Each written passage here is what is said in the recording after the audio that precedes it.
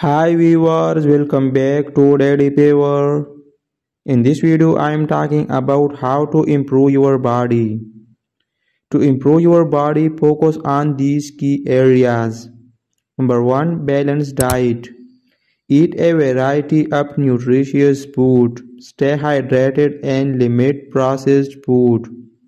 Number 2. Regular exercise. Include cardio, strength training, and flexibility exercise.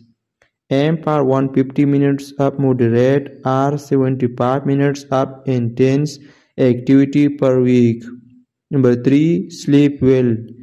Get 7 to 9 hours of quality sleep each night. Maintain a regular sleep schedule. Number 4. Mental health.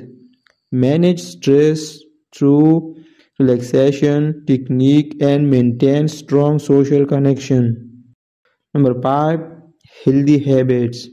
Avoid smoking, limit alcohol, practice good hygiene and get regular health checkups. Number 6. Set goals. Set realistic, measurable health and fitness goals. Track your progress and be patient. Number 7. Stay educated. Learn about nutrition and fitness and consider professional advice. Number 8. Listen to your body.